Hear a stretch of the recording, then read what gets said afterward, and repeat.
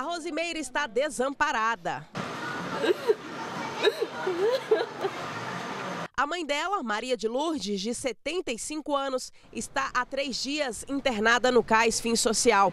A idosa está com os rins parados, precisando fazer hemodiálise com urgência.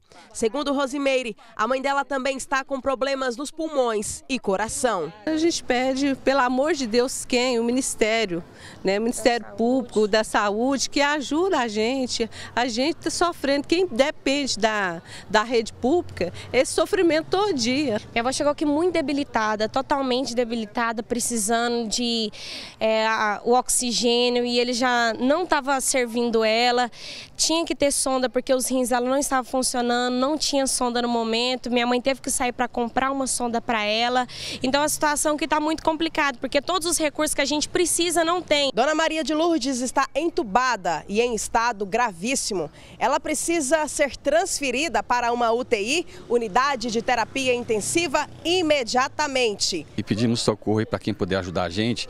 Já são três dias, mas na verdade tem uma semana que nós estamos pedindo socorro aqui. Tem que ficar correndo atrás de médico pedindo pelo amor de Deus. A minha esposa teve que gritar lá dentro para poder ser socorrida. Na hora que está nas últimas na minha, que eles vêm querer, vêm querer enganar, querer fazer alguma coisa, não sei o que, que eles estão fazendo lá.